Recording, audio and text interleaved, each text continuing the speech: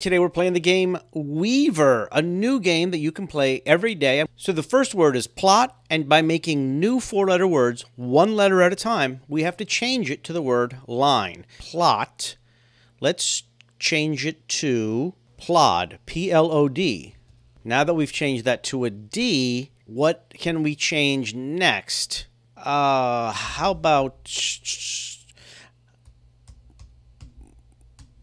I don't pooed.